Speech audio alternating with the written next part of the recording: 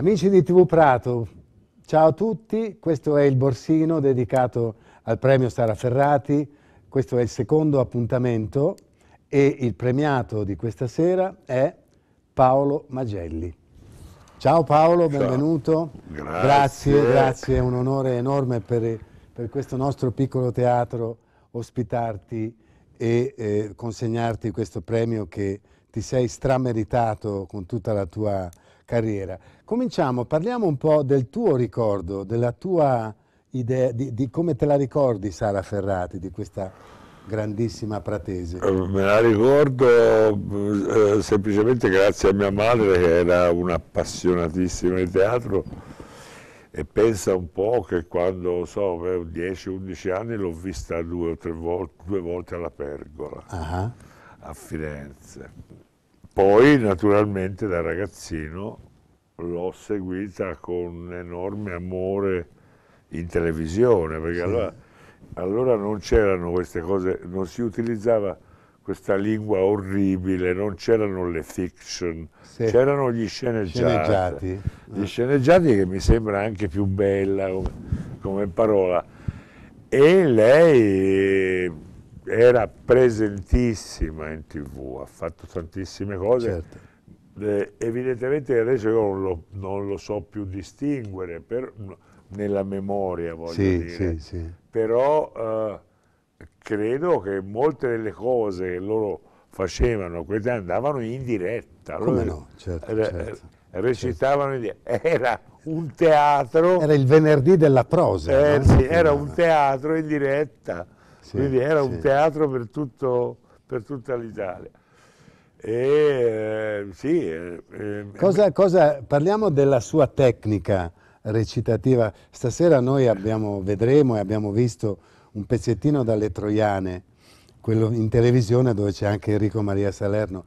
La sua tecnica recitativa... No, è, è, secondo me io non sbaglio se dico, siccome nel, con lei poi eh, cominciò anche la Morelli, sì, sì, eh, sì. Eh, ehm, eh, Benassi non cominciò ma era già... C'era un gruppo di attori, eh, Almirante, un gruppo di attori che eh, secondo me erano molto sotto l'influenza di questo grande Max Reinhardt e di Copò, cioè si vedeva questa mano eh, questa mano, diciamo così, legata a un tipo di teatro, perché Reinhardt è stato l'uomo che ha negato il naturalismo e che ha, diciamo così, ammazzato Stanislavski sì. nel 1905, quando quello era ancora vivo. Certo. Voglio dire, è, è, è, ehm, credo che questa che, che, lei sia stata scelta da questi maestri. Al Giardino di Boboli.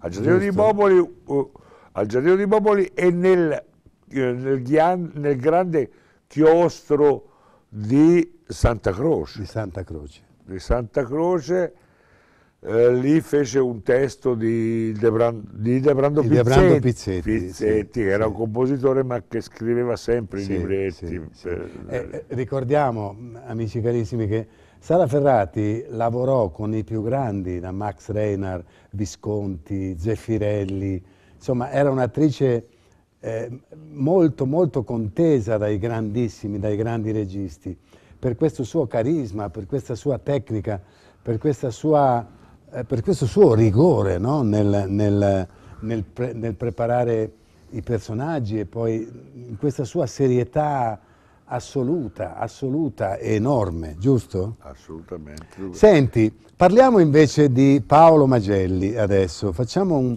un veloce... Un... Paolo Magelli, ragazzino. 18 anni. prima, prima. 18 cioè l'adolescente con 18, a 18 anni al Teatro Studio. Prato anni, Prato anni 50, no? Anni 60. Eh, no, che scuola hai fatto a ah, Prato? Ah, ho fatto, cioè.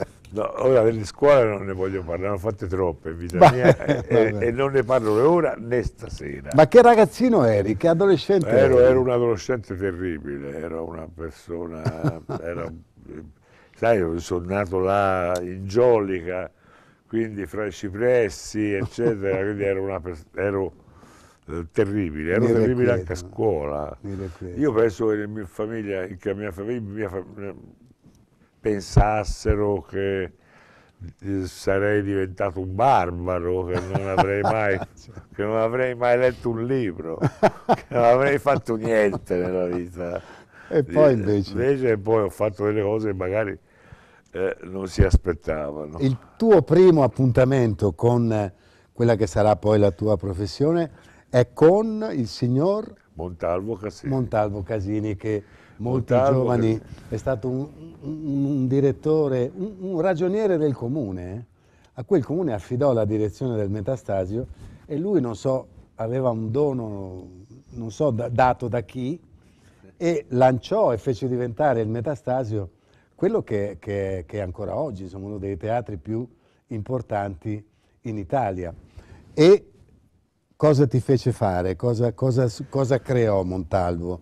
Insieme a Paolo Emilio Poesio poi. Sì, Paolo Emilio Poesio e, era agli inizi, sì. era il fondatore, diciamo. Sì. Credo di aver imparato una cosa importante da quell'esperienza, che eh, per fare il teatro non esistono metodi. Ecco. Eh, eh, eh e che il, il, metodo dovrebbe essere eh, nelle scuole odierne sì. proprio quello di non avere metodo. Di non avere un metodo. Di, di, non avere un metodo, ma di prendere, di lasciare prima di tutto i giovani eh, conoscere la materia e cercare dentro se stessi la strada certo. da seguire. Certo. Poi una volta arrivati a quello di cercare di dargli, dare, dar loro eh, maestri contraddittori. Certo. Eh, eh, cioè non... Eh, eh, Uno solo e basta. Non eh, seguire, non seguire canoni, certo, ma anzi...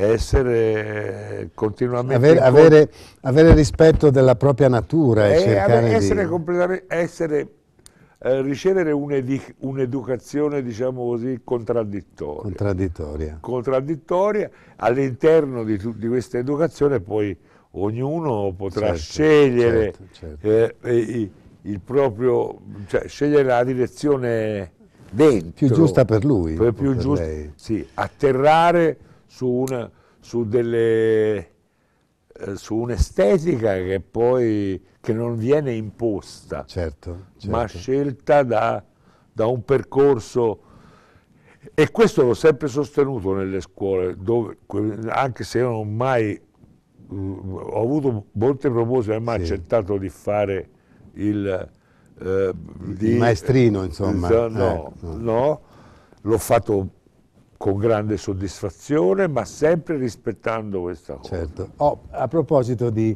di, maestri contraddittori e molto diversi fra loro, citiamo qualche nome con cui Paolo ha avuto a che fare appena, appena ventenne, ventiduenne, cioè stiamo parlando di qui a Prato lui ha conosciuto i grandi che Montalvo Casini faceva venire, eh, Julian Beck, Judith Malina, eh, Peter Zadek e poi in Europa questo signore qui... Peter Zadek l'ho conosciuto a Firenze, per, ecco. per, a onor del vero. Esatto. Questo signore qui poi va in Europa e in, sconosciuto. Il Benno Besson l'ho conosciuto a Prato da ragazzino, ecco, perché Montalvo diventerà, è... diventerà il mio, poi il mio, eh, diciamo, il mio destino. Il tuo destino. Questo signore va in Europa e incontra altrettanti giovani sconosciuti che si chiamano Bob Wilson, che si, ah, do, dopo aver lavorato con Streller a Milano come assistente. No, no? ho lavorato con Streller, su, quella è una cosa che andrebbe chiarita. Eh, ho collaborato con lui a una cosa molto più profonda e bellissima, che, che è la stesura e che fu incaricato proprio dalla regione toscana la, la, stesura, e poi dopo naturalmente lui mi utilizzava per tutto, certo, quindi certo. anche ero il ragazzo di bottega, ma eh, eh, eh, eh, la stesura del, della legge per un nuovo teatro regionale. Pensa un po'. Questo, e questa legge poi lui la trasformò, prima era deputato del Partito Socialista, poi fu deputato del Partito Comunista lui la trasformò in proposta di legge per tutto il territorio nazionale, di questo ne possiamo parlare 10, 5 dopo, minuti. Dopo, dopo, dopo, stasera. E, e, e, quella legge è certo. rimasta negli scranni di Montecitorio. Ma ci sarebbe da qui da dire ragazzi, cioè la, la, la, le lettere che, che, si scrivevano Paolo Grassi e Streller su questo tema sono, sono fantastiche. Allora in Europa parlo Bob Wilson, eh, aspetta, poi ehm, Pina Bausch, raccontaci due minuti del tuo rapporto Vabbè, con Pina eh, Bausch. Dunque, lei l'ho conosciuta, ecco questa è una, credo che nella vita ci siano questi cerchi che sì. si aprono e che si chiudono, certo, sono certo. cosmici proprio.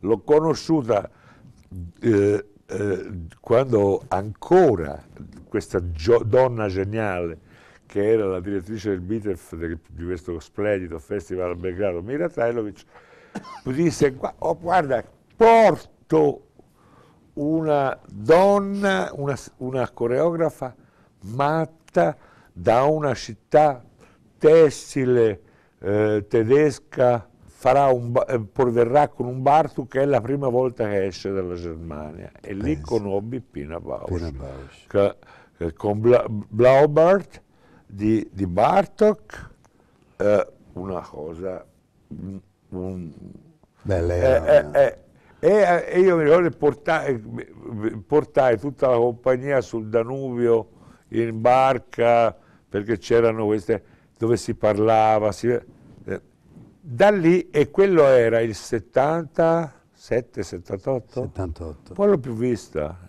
Ho, ho, visto delle cose certo, in giro certo. per, per, per, per l'Europa. Certo. e, e nell'89 eh, eh, avevo, cioè avevo eh, eh, questo grazie a, quel, a, quella persona tutti dicono egoista, streller, eccetera, eh. avevo fatto uno spettacolo che aveva vinto oh, un grande premio in Slovenia, ma era uno spettacolo completamente forte, veramente matto proprio. L'isola delle capre di Ugo Betti. Di Ugo Betti.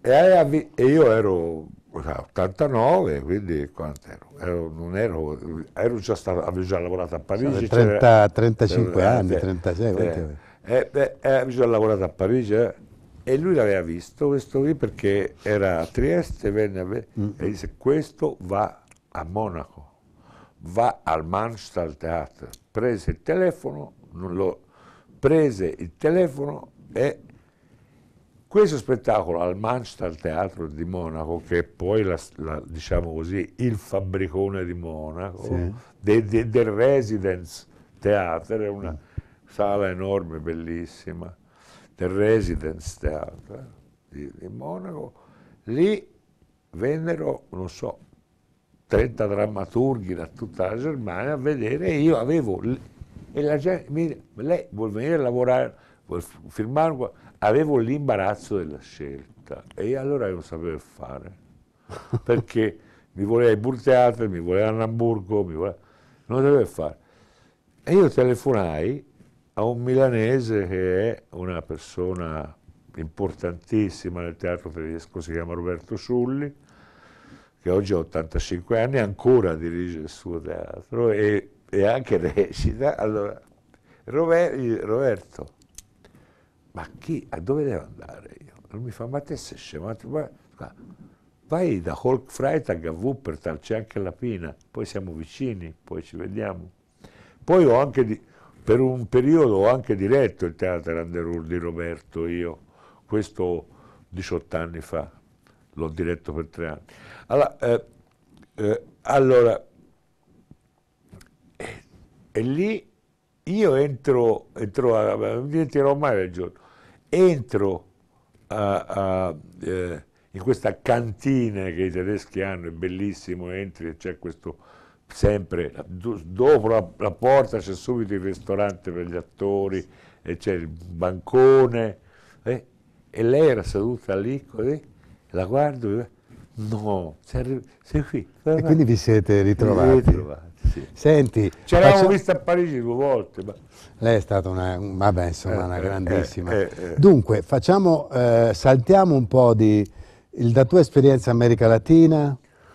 Eh, eh, per l'America Latina ho una grande debolezza sia intellettuale che politica e poi li ritengo, loro sono attori straordinari, hanno teatri bellissimi, sì. sono molto generosi, sono poveri, ma i poveri hanno molto più, molti più soldi certo. dei ricchi e, e, e, e sono una meraviglia e quindi ho praticato moltissimo il Venezuela, dove ho anche, stasera c'è la Gelca con noi, anche lei ha lavorato con me, ho anche fatto una coproduzione fra attori tedeschi, austriaci e, e, e, e venezuelani, non solo su, che, che era, era, la prima volta per cui Franco aveva proibito Horvat, che racconti del bosco viennese. Mm. Allora, allora,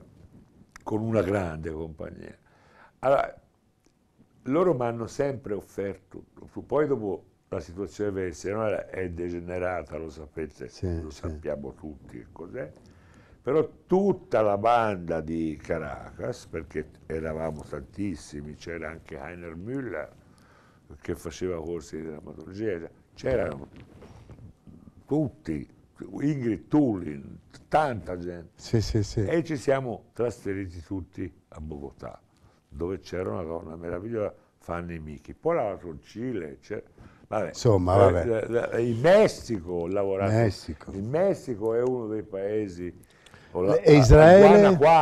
Israele anche. Israele e in Palestina ho fatto i 700 tratto da Amin Malouf, i set, i, che ha, che ha, scritto un libro bellissimo, si chiama 700 anni, c'era anche Gad Lerner allora in questa cosa, eh, 700 anni delle crociate viste dalla parte degli arabi. Uh -huh. Allora anche lì ho messo insieme eh, francesi, eh, tedeschi, austriaci, gli austriaci e i tedeschi li ho messi insieme agli ebrei, i francesi insieme ai palestinesi chi era Bellissimo. responsabile dei, dei destini. E lì abbiamo fatto due cose e poi si sono riunite. Una cosa a Ramallah, eh, eh, dietro la torre, eh, subito dopo la torre, a, a, lo provavamo prima alla torre di Damasco, poi a Ramallah, l'altra certo. a, a, a Haifa e a Acco e a Gerusalemme. Insomma, per Paolo Magelli il mondo, il teatro, eh, non ha confini, unisce i popoli.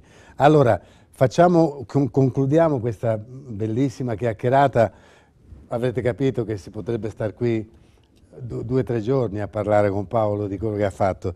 Non possiamo finire non ricordando un attimo la tua direzione al Met, no? dal 2010 al 2015, e, i, i tantissimi spettacoli, eh, tra cui anche mi, mi, mi, mi onoro indegnamente ad aver partecipato con la Medea che abbiamo fatto al Fabricone, abbiamo fatto alla, alla Siracusa, abbiamo riaperto il Colosseo di Roma Dopo 25 anni di, di clausura. Ri, ricordami un, due cose belle di quell'esperienza del Metastasio. Aver potuto finanziare, sostenere, eh, prima di tutto collaborare, con il, collaborare meravigliosamente con il Festival di Spoleto. Eh, in un rapporto di grande democrazia, aver potuto finanziare e aiutare eh, molte, molte, compagnie eh, e aver recuperato Stein, aver, avere, avere Binasco, sostenuto certo. dall'inizio l'avventura di Binasco. Gli attori e, poi. E, e, e, e, aver, e aver portato e aver finanziato tanti, tanta gente certo, diciamo così, certo, che non certo. aveva possibilità.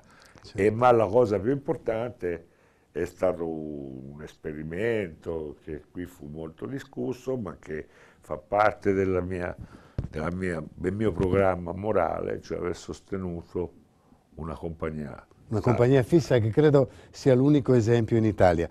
Paolo, io ti ringrazio, starei qui a parlare veramente per una settimana con te, però il, il Borsino ai tempi eh, stretti stretti. Vi ricordo, Paolo, grazie. Grazie. Grazie a voi, grazie ci Allora, vi ricordo, amici miei, l'agenda eh, degli spettacoli prossimi del Teatro Borsi.